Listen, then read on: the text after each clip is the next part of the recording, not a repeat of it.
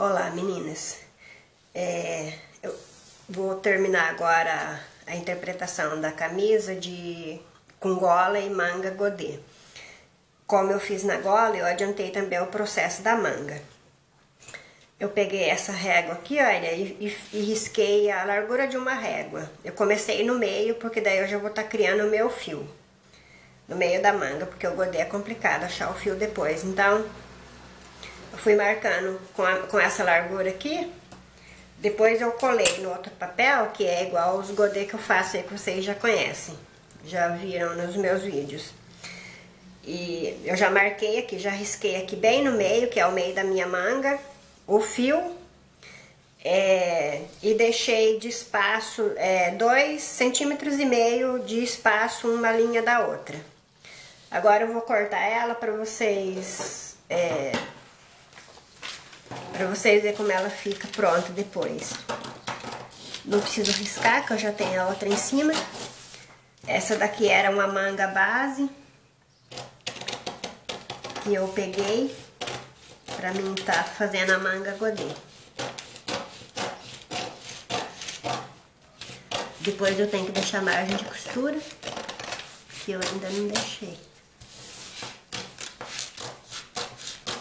Eu já marquei aqui no papel de baixo. Marquei o pique do meio.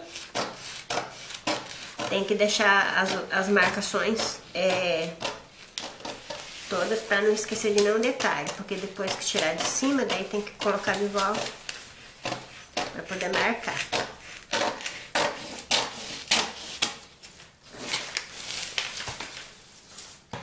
Para qualquer tipo de, de gola que vai fazer, é dessa forma, de gola, é, gola não, é manga, é gola também, é, é essa forma que faz o godezinho. E essa barra aqui, ela é godê, vai ser é, difícil de fazer, tem que fazer em igual barrinha de lenço. Vou ensinar a fazer essa barra, mas é fácil, muitos já devem saber. E, ou então quem tem máquina de picô, né? Eu vou fazer essa no, na máquina de picô. Agora eu tiro de cima, que ela tá só colada. Por isso que é bom usar o durex. O durex você pode tirar depois. Se você fizer com cola, depois vai ficar aquele papel grosso para você guardar.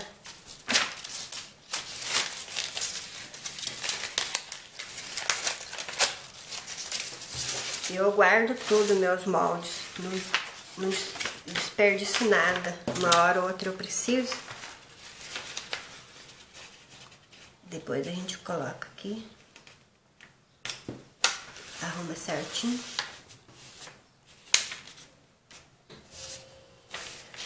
Tem que dobrar no fio.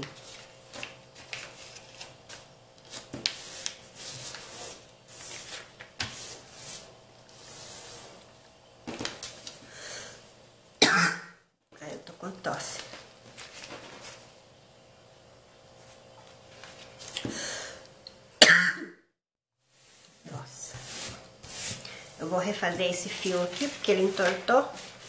Mas a manga tá, tá certa, tá reta.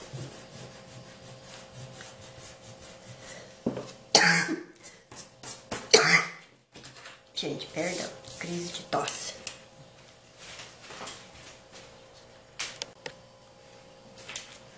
Eu marquei aqui o fio novamente.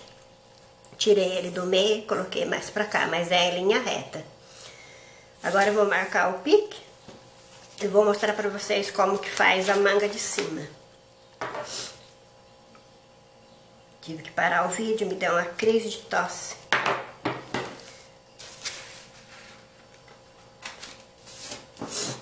Olha, então aqui é o fio. Fio. E marco duas vezes, que são duas mangas, né? Meninas, para vocês fazerem aquela manga de cima, aquela que sobrepõe nessa, vocês começam medindo daqui de baixo, olha. É, o tamanho que vocês quiserem, vocês vão medir aqui, por exemplo. É, eu quero ela daqui da metade para cima. Aí eu vou começar marcando aqui, ó. Vou tirar 4 centímetros. Eu faço 4 e vou marcando. 4 todo aqui. Ela vai ficar faltando 4 centímetros aqui, ó, pra encostar na parte de baixo. Vai ficar uma, duas.